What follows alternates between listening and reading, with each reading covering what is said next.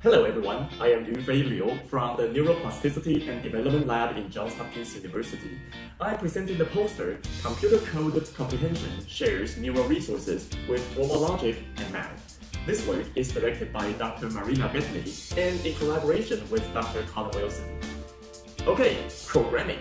Programming is so important to modern society, but how our brains do it is still largely unknown. In this study, as the title suggests, we focused on the neural basis of code comprehension. Programming is a very recent cultural invention. We shouldn't expect our brains to evolve some thing for this purpose. Then what should the neural basis of code comprehension be like? Here are several possibilities. First of all, idiosyncrasy. Perhaps each programmer uses a different neural circuit to understand codes. Second, neuronal recycling code comprehension could latch on to some existing network evolved for other purposes, such as language. Another possibility is that code comprehension is a cognitively demanding task that relies on the domain general executive control system to carry out. Lastly, code comprehension could share neural resources with other culturally derived symbol manipulation systems, such as symbolic math or formal logic. To find out which hypothesis is correct, we recruited 15 programmers with at least three years of experience in the programming language Python. They underwent fMRI scans while performing tasks to probe code comprehension, language, math, logic, and executive control. The code comprehension task consists of real code trials and fake code trials. In a real code trial, participants first solve a short Python function which took a character string as input and churned out some kind of output. Here's an example. If you input dog to this function, the output is a list containing four items, input equal sign d equal sign o equal sign g, and so on. The participants had to understand what the function does to any generic input, and then answer whether a proposed output is the correct output of the function with regard to a specific input. In a fake code trial, participants saw a fake code function, which was a real function scrambled at the level of words and symbols. Here's an example. Participants were required to memorize this fake function and answer whether a single line of fake code came from this fake function. Here's the fMRI result across participants. Code comprehension consistently activated a left lateralized frontal parietal network. Because of this consistency, we can rule out the possibility of idiosyncrasy. We would like to know whether this activation pattern actually encoded information related to the functions the participants were reading, or whether this network was simply activated by code reading behavior.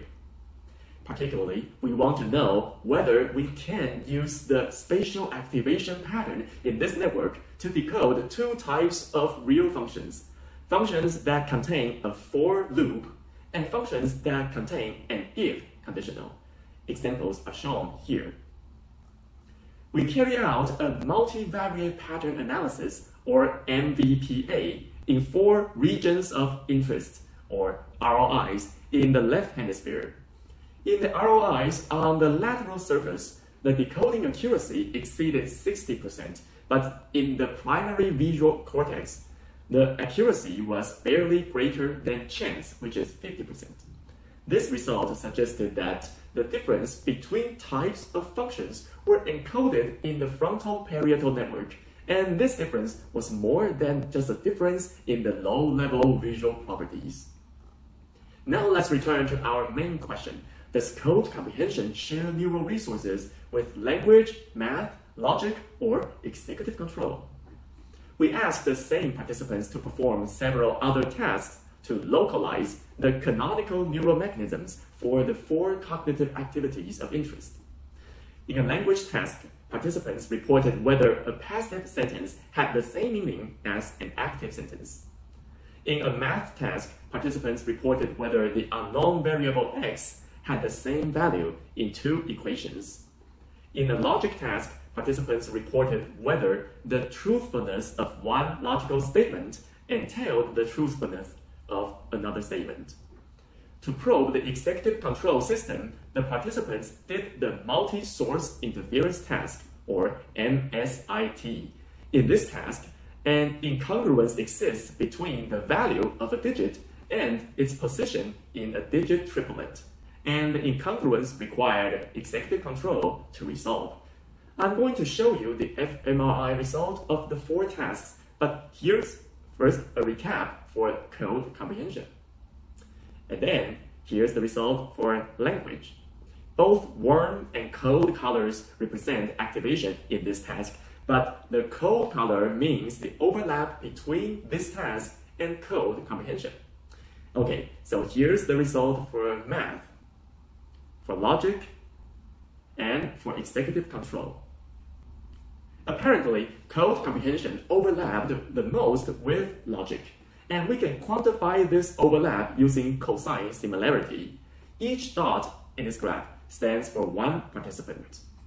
And the empirical upper bound is the overlap between half of the data for code comprehension and the other half. And the empirical lower bound is the overlap between each task with the scrambled activation map for code comprehension. So each overlap was well above chance, but the overlap between code and logic was significantly higher than others. Math come in the second place, but is still far lower than logic. The neural basis of code comprehension and language comprehension didn't overlap, but there's an interesting observation. Both of them are highly left lateralized. Look at this graph. Each dot, again, stands for a participant and the big dots stand for the mean values. Math, logic, and executive control are roughly bilateral, but code and language are left lateralized. What's more, their lateralization indexes were highly correlated. Look at this graph. This phenomenon wasn't observed for math, logic, and executive control. What could this mean? Well, it's very likely that code comprehension shared neural resources with culturally derived symbol manipulation systems, mainly formal logic and perhaps symbolic math to a lesser extent. As for language, it's possible that language ability exerts some indirect influence on code comprehension. We suspect that a mature language system is the prerequisite to adapt the symbol manipulation system to support code comprehension. But this hypothesis, of course, requires future research to confirm. Thank you.